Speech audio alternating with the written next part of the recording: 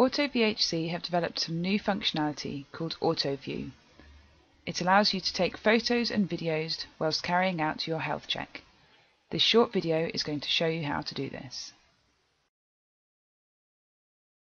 When you have your check open, you simply complete the details as normal, and when you scroll down the screen, you will see the options to take a photo or record a video. You can either take a new video or choose an existing one that you have saved to your device. The easiest way to take videos is to take a video for each check whilst in that item. But if you want to take the videos beforehand and then choose existing, this option is also available.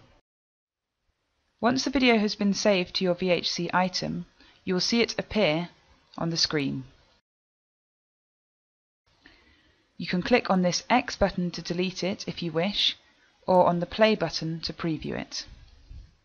If you choose to take a video whilst in that VHC item, it will open up the video camera on your device, and you can start recording.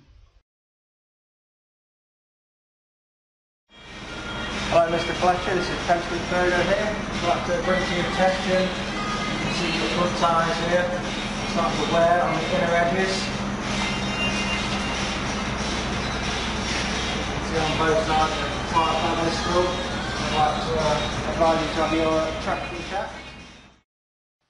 If you're interested in adding the AutoView module to your AutoVHC package, please contact our support team.